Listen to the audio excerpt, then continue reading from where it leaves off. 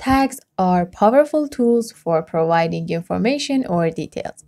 They can be categorized tags like door tags, floor tags, or room tags.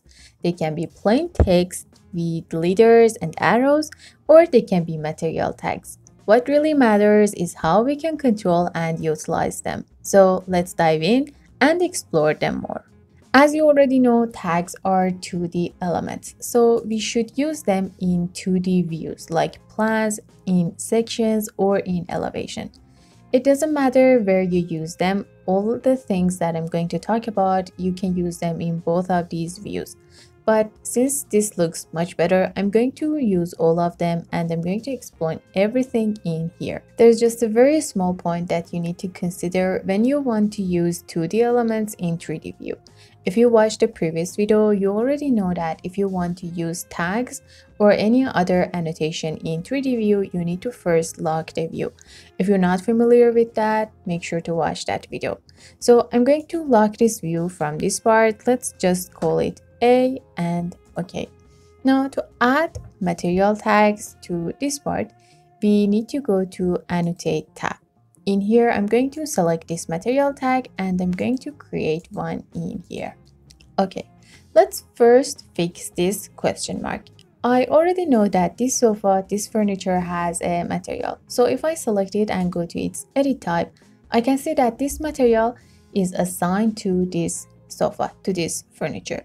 So one reason for seeing this question mark could be because your object has no material assigned to that. So fix that first. The other reason could be because of the material itself.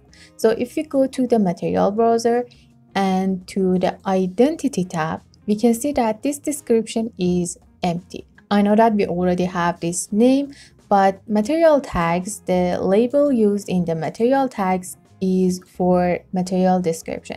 If you select your tag and go to its edit family, in this part you can see that this label is for material tag. Select it and go to edit label and in this part you can see the material name. So to fix that question mark, you should either replace this description with this name or copy the name of the material for the description. I'm going to go with the second way because I don't want to modify this tag. So let's select the furniture and go to its edit type and to its material and simply in this part copy and paste this name for the description. Okay and okay, perfect.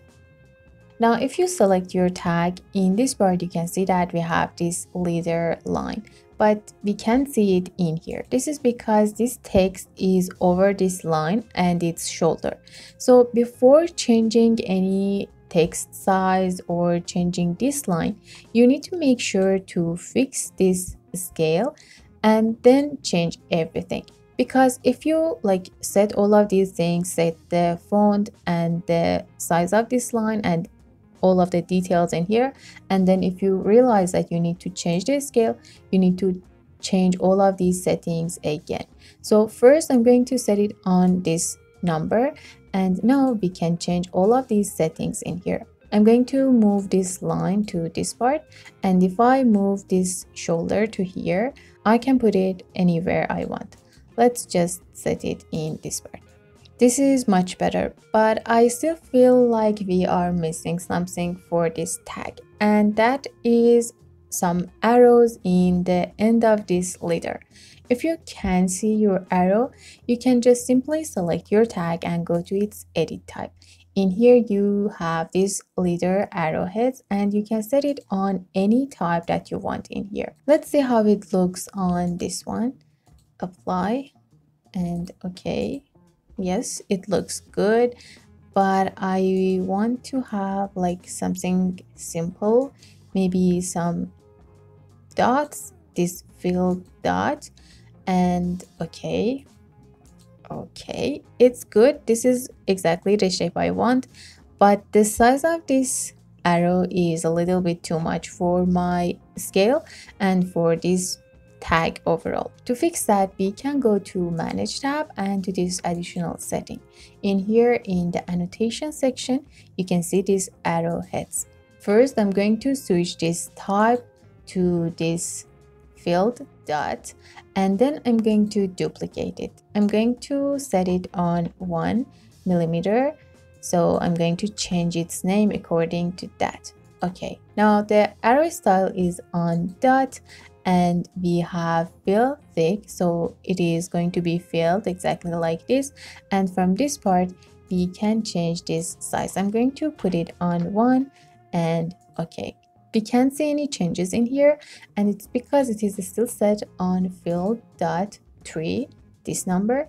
If you open this part you can see that fill dot one millimeter which is the one that we just created. Apply and okay yes this looks much better. Now the next step is to control the color or maybe the line style of this leader and for that we need to go to visibility and graphic. Press VV on your keyboard and then go to annotation categories. In this part i'm going to click on m so i can find this material tag sooner. And in this part we can change the pattern, the color, and the weight of the leader line. So I'm going to change this color to let's go with this one. And for controlling the pattern we can go with either this aligning line or dashed line or whatever type that you want. I also want to change this line weight and put it on 3 okay and okay. And simply like this we change the color and the style of this line is it like this because the scale is on 1 by 50 and if we change it to for example this one you can see all of this dashed line and the style of this line much better.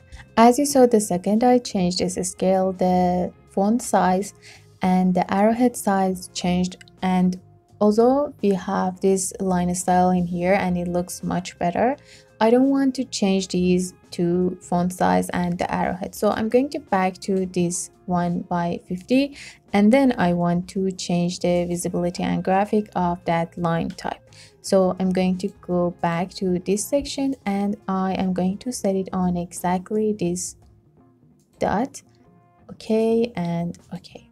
Yes this looks much better now I can just simply move these around and fix it exactly how I like. To match the color of this text with this tag, you need to select it and go to its edit family and in this part select this label, go to its edit type and in this part you can control this label, you can control this tag.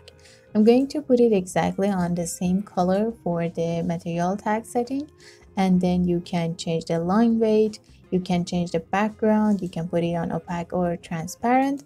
I'm going to like leave it on this one and then you can create a border around it exactly like this. And then from this part you can change the offset of the leader or the border with this number in the below section, in the text section, you can change the font of this text. You can change the size of it. You can make it bold, italic, or underline.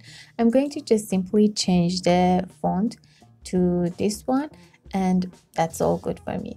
Okay, and then load it back to this family. Perfect. If you want to learn how you can fully control and manage the visibility and graphic of all of your views, make sure to watch this video and if you find this video helpful make sure to like it and I will see you in the next video.